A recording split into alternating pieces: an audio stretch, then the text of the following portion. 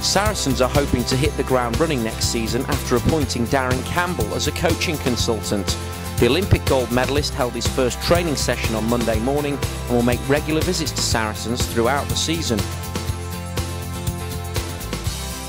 Very impressed with what I've seen this morning. Really today's just been about me uh, really meeting the players, um, seeing what type of work that uh, the coaches do. Um, but yeah, as I said, I'm very, very impressed with, with what I've seen here and hopefully I, will be able to um, add little bits and bobs. But as I say, from what I've seen this morning, uh, it's, it's, really, really good. I know you've worked in rugby before and you've done a lot of work in, in Premier League football. What do you think that these sportsmen can learn from athletics?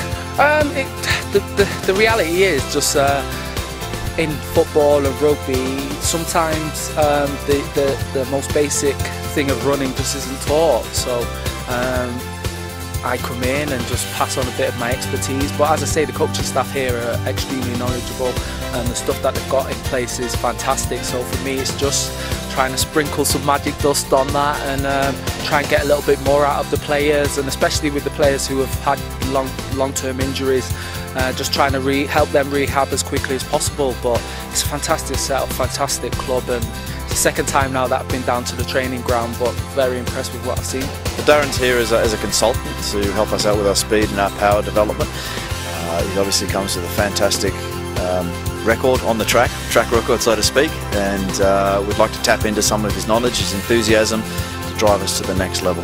He's going to be working with the squad a few times over the course of the season and hopefully we'll build up that, that speed and acceleration which is so important in the modern game.